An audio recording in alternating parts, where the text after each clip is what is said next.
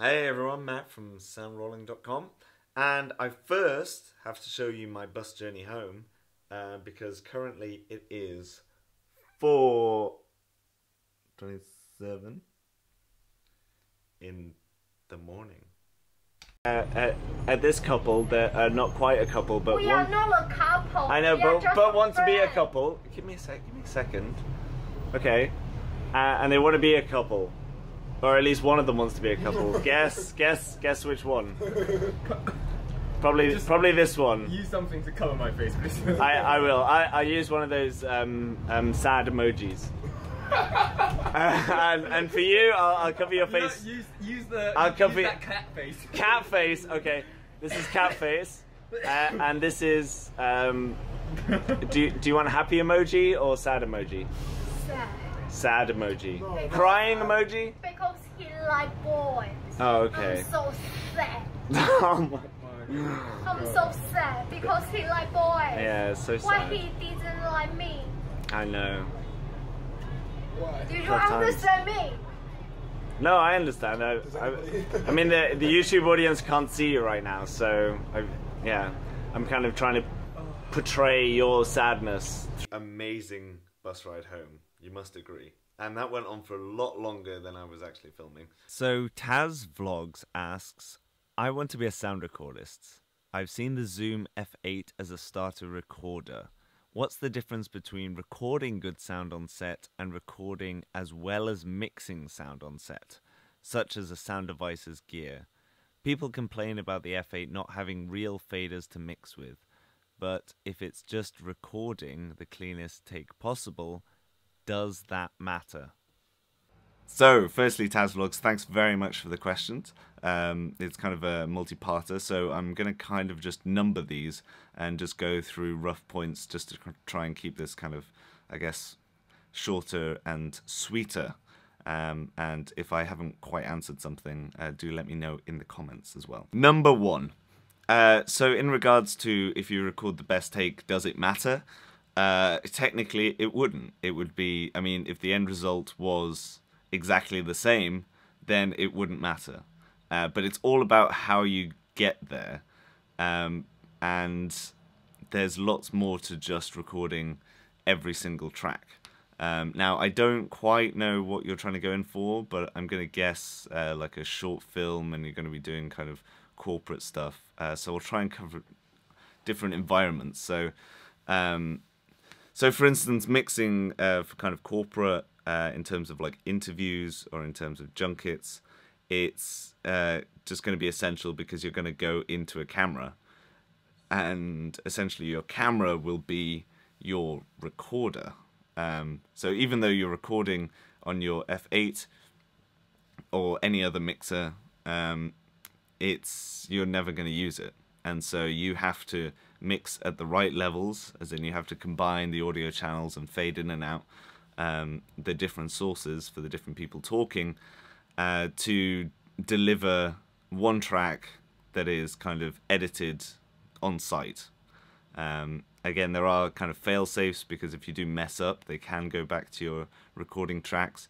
Um, but you need to be able to just deliver um, kind of flawlessly um, mixed sound uh, so that they can save time editing. Um, in regards to a kind of short film scenario, especially since you say that you're a sound recordist or want to be a sound recordist, it's different to being a sound mixer, uh, mainly for the definition that usually a sound recordist would also be boom operating. So on a short film, if because there's some out there that are, um are so low budget that it it's only kind of feasible for you to do it and to boom as well. Um, and in those scenarios you you pretty much are just kind of monitoring and just trying to record. You're trying to kind of you're trying to mix as well to get a sense of the picture and what's going on but it's going to be more about just recording and making sure that you've got all of those separate.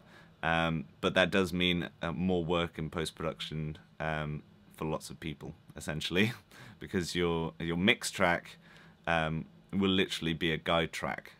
Um, and again, the guide track does a, a, kind of injustice in a way um, to people's uh, mix tracks because a mix track, although it is a guide, um, it can be it can be really good. I'm kind of trailing off. It's really hard to answer. It's basically a massive, massive question, the difference between mixing and recording.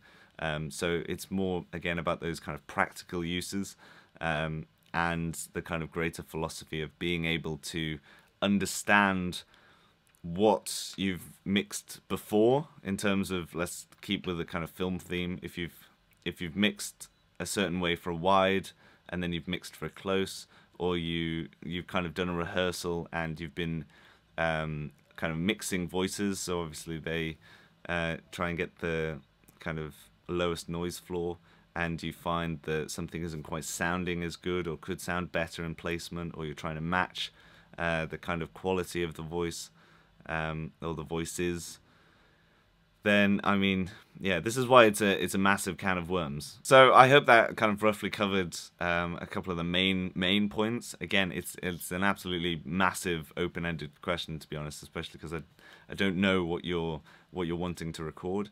Um, but as firstly, you'll be fine with the F8 as a kind of uh, recorder.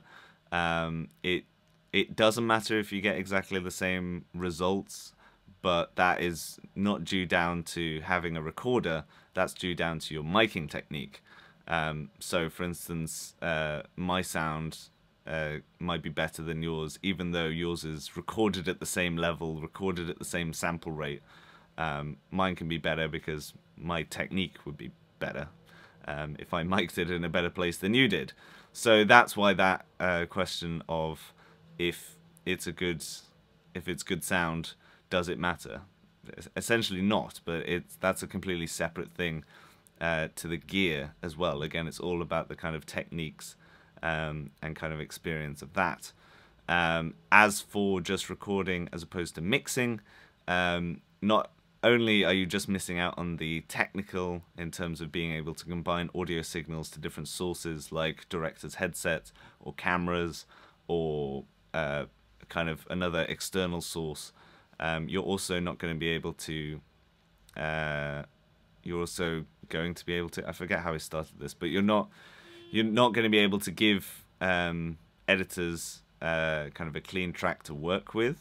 That they can go on as kind of a mixed track uh, which then in post sound becomes a guide track um, and I guess going on more to mixing mixing is again a bigger kind of uh, I guess philosophy, as it were, um, on capturing good, clean sound. It's about having that perception of being able to mix to picture. It's about having all those kind of intangible um, little nuggets of information in terms of how you've mic'd people, what the scene is happening now, how does that affect this, if they're picking something up, um, do I hide it? What's out of shots? Can I boom from here? I mean, there's so many, so many, so many uh, things to take into account that would make you a sound mixer. Um, although you have to do those as a sound recordist, as a sound mixer with a boom operator, you're going to have a much, much clearer, better sound from that. So I hope that kind of answers at least at least part of it. Um, so again, it's it's a kind of technical answer as well as kind of a just a larger philosophy of um, it's different for like me at the moment. I'm just shooting um, on a DSLR, and it doesn't make me. And though I've put a light on, it doesn't make me a DP, for instance.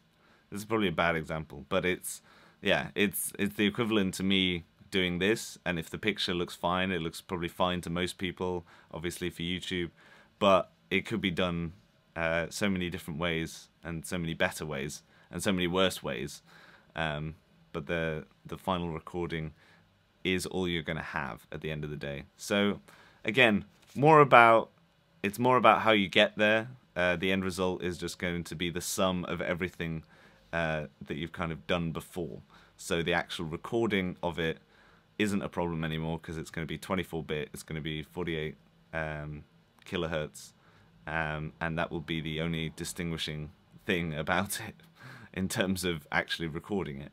Um, the rest will all be about your uh, gain stages and uh, being able to put everything together in your head. So I realize I've gone on for a very long time, but thank you very much again for the question. I hope this helped a lot of people outside. Again, uh, leave like comments below, um, and I can try and go into a bit more detail with more specifics, um, I guess, for different people. Um, I'm now, God, it's like eight in the morning, so eight, nine, nine in the morning. I'm reading my watch wrong and everything. So, uh, I'll upload this later today, and I've got to start mixing a short film again. Um, so that's going to be cool. So, yeah.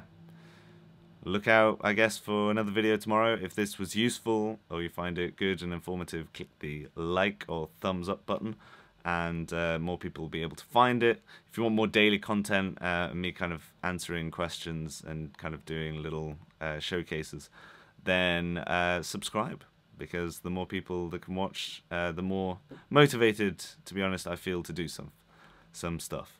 Um, especially if you comment as well, because the more engaging we can make it, uh, essentially, the more useful it will be for you. So, I've been Matt Price, and I will see you tomorrow.